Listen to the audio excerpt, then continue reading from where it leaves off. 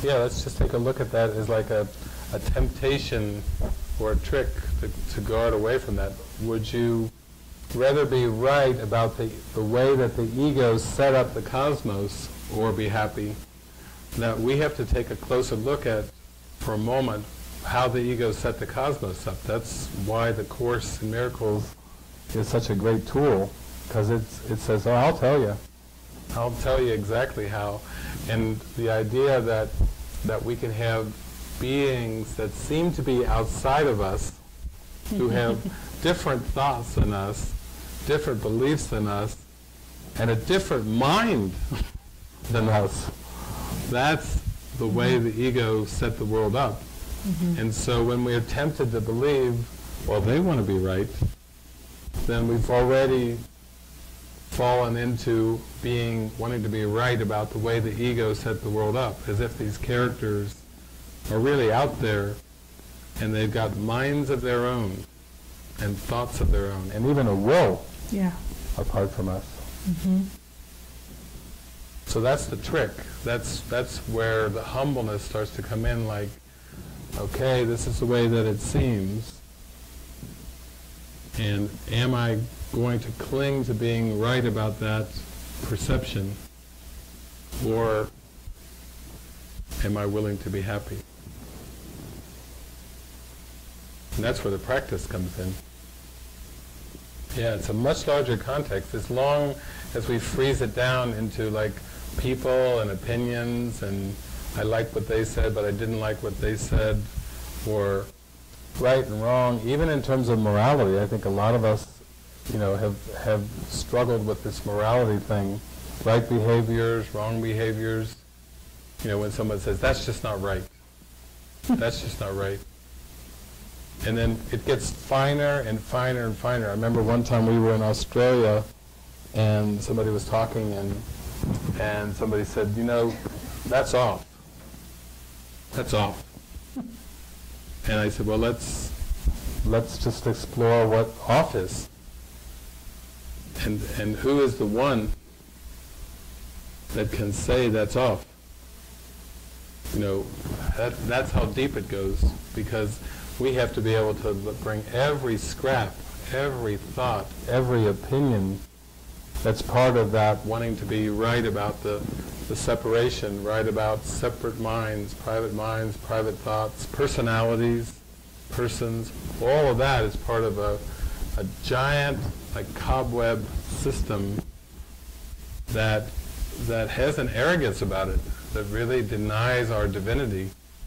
And it seems easy to lose track of the big picture and to get caught into the little blinders the microcosm. And that's where we have to go much deeper into consciousness much deeper into mind to actually have that experience that we're, that we're desiring, that freedom. Yeah, and I think to simplify it, when we look at that whole category of trying to be right about anything in the world, it all comes back to linear time. I, I remember going through the course and I, I'm going through all these chapters and it's getting later and later in the text. And then I remember looking at the name of the subsection in the chapter, and it said, the immediacy of salvation. And I was like, whoa. The immediacy. It wasn't talking workbook lessons in there. It wasn't talking practice even. It was a room. The immediacy of salvation. And he says, be not content with future happiness, for it is not your just reward. For you have cause for freedom now. And I was just, it just hit me like a ton of bricks. Be not content with future happiness. That's like another temptation. It used to sound pretty good to us. Hope for the future, a better life in the future. You know, it used to be something that we were hanging on to. Okay, it's going to get better. I'll be happy when. Mm, I can't wait till this situation or circumstance. And then we're starting to realize that it's our perception, our cracked ego perception that is the problem. And as Einstein said, you cannot solve the problem at the level of the problem. we are not going to be able to solve perceptual problem with specifics.